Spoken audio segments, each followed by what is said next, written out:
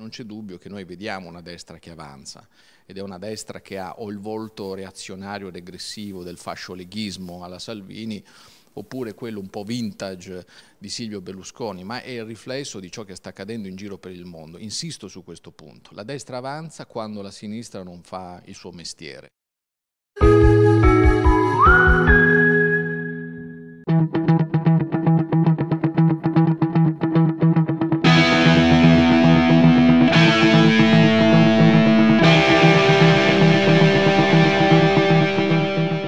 Vorrebbe un po' di memoria per ricordare che in questi anni il Partito Democratico, il centro-sinistra unito, ha perso tantissime elezioni, appuntamenti elettorali come le amministrative, regionali, eh, ha perso il grande appuntamento del referendum costituzionale, stiamo parlando del centro-sinistra unito, quindi il tema non è l'unità, il tema è che il Partito Democratico in questi anni ha tradito un pezzo delle aspettative che ha generato alla sua nascita e quindi ha tradito anche un pezzo degli elettori e molti di quegli elettori non si sono più riconosciuti nel centro-sinistra. Non c'è dubbio che noi vediamo una destra che avanza ed è una destra che ha o il volto reazionario ed aggressivo del fascioleghismo alla Salvini oppure quello un po' vintage di Silvio Berlusconi, ma è il riflesso di ciò che sta accadendo in giro per il mondo. Insisto su questo punto. La destra avanza quando la sinistra non fa il suo mestiere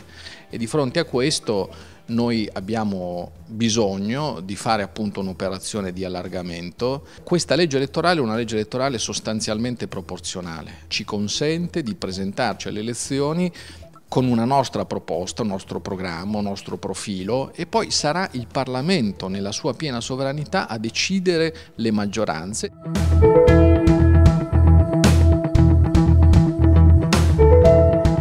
Per noi lo, lo è sempre stata, semmai ci siamo molto arrabbiati quando abbiamo capito che il Partito Democratico non aveva nessuna intenzione di portare a termine quella proposta di legge. Credo sia stato un errore legato a un calcolo di tipo elettorale, ma ha fatto perdere completamente di vista la necessità che questo Paese aveva e ha di fare un passo in avanti su questo terreno. Garantire a quei bambini la cittadinanza italiana era un atto dovuto e quindi io penso sia stato davvero un errore non portare a termine quella scelta e credo che questo debba debba essere la priorità eh, delle forze politiche, di sicuro lo è per noi.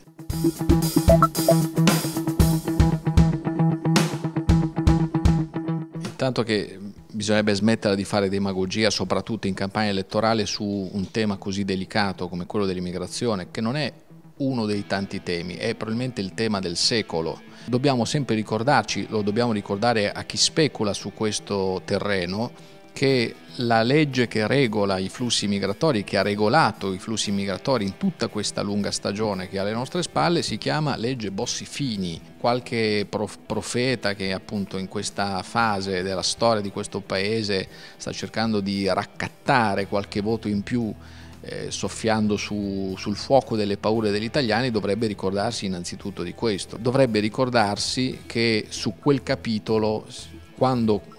loro erano al governo hanno fatto molto poco, eh, penso appunto a quando il centrodestra ha tolto le risorse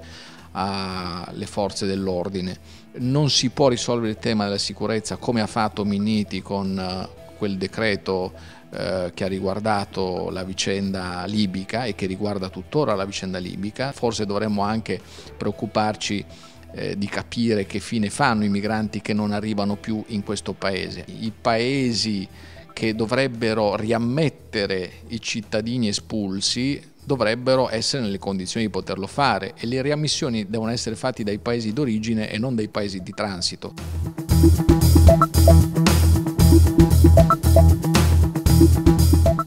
Problema di costruzione e di selezione della classe dirigente ed è un problema gigantesco nella misura in cui viviamo una stagione in cui i partiti nel migliore dei casi sono deboli o addirittura si sono trasformati in qualcosa d'altro, sono partiti personali, padronali, sono comitati elettorali, non ci sono più i partiti e quindi nessuno sta svolgendo una funzione fondamentale per la democrazia di questo Paese che è la selezione della classe dirigente. Forse un tema come questo dovremmo porcelo, anziché urlare al fatto che i partiti siano la rovina di questo Paese, eh, forse i cittadini dovrebbero iniziare a tifare perché i partiti tornino a ad essere quello che è previsto nella Costituzione, cioè un, eh, un ingranaggio importante della nostra democrazia e per fare questo naturalmente ci vogliono eh, regole, ci vuole anche rispetto e ci vuole una nuova classe dirigente che abbia la lucidità di portare avanti questo ragionamento.